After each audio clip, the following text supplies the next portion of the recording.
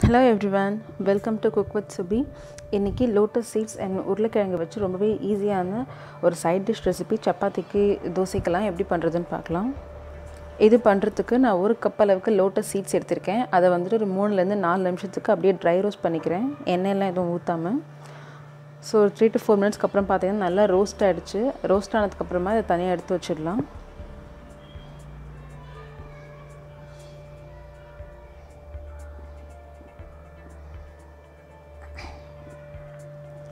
So இப்போ மசாலாவுக்கு நான் ஒரு பவுலில் ஒரு கப் அளவுக்கு வெங்காயம் சேர்த்துக்கிறேன். கொஞ்சம் ரஃப்பாக சாப் பண்ணது. அது கூடவே அரை கப் அளவுக்கு தக்காளி சேர்த்துக்கிறேன். ரெண்டு டீஸ்பூன் அளவுக்கு மல்லித்தூள். ஒரு டீஸ்பூன் மிளகாத்தூள்.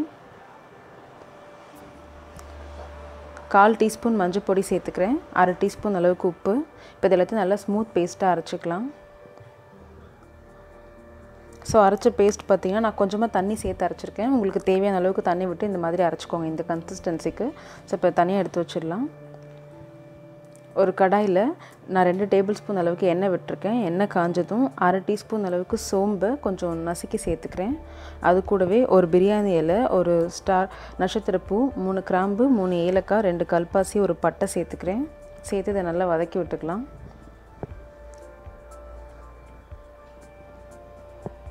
இதெல்லாம் நல்லா வெடித்து வாசம் வந்ததுக்கப்புறமா நம்ம அரைச்சி வச்சுருக்க வெங்காயம் தக்காளி பேஸ்ட் சேர்த்து ஒரு ரெண்டு நிமிஷம் கண்டினியூஸாக குக் பண்ணிக்கலாம்.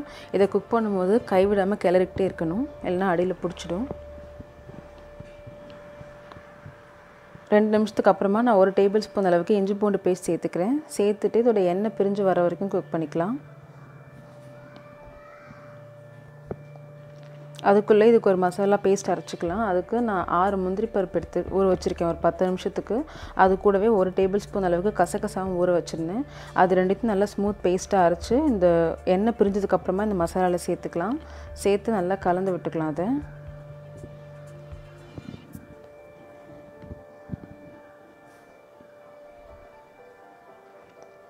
ஸோ பார்த்திங்கனாக்கா வந்துட்டு எண்ணெய் வந்து நம்ம முந்திரி பருப்பெல்லாம் சேர்த்து எண்ணெய் பிரிஞ்சதுக்கப்புறமா ரெண்டு கப் தண்ணி ஊற்றி திரும்பவும் ஒரு எட்டுலேருந்து பத்து நிமிஷத்துக்கு இதை நல்லா கொதிக்க வைக்கணும்.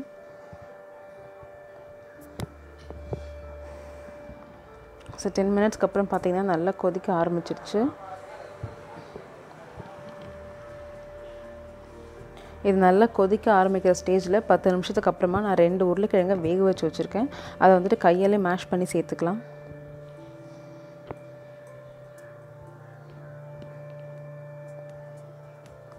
உருளைக்கிழங்கு சேர்த்து ஒரு வாட்டி கலந்து விட்டதுக்கப்புறமா வறுத்த லோட்டஸ் சீட்ஸ் இருக்கு இல்லையா அதை சேர்த்துக்கிறேன். சேர்த்துட்டு திரும்ப ஒரு மூணு நிமிஷத்துக்கு இதை நல்லா குக் பண்ணிக்கலாம். மூணு நிமிஷத்துக்கு அப்புறம் பார்த்தீங்கன்னாக்கா நம்ம சேர்த்த லோட்டஸ் சீட்ஸ் வந்து சைஸ் வந்து நல்லா சுருங்கியிருக்கும்.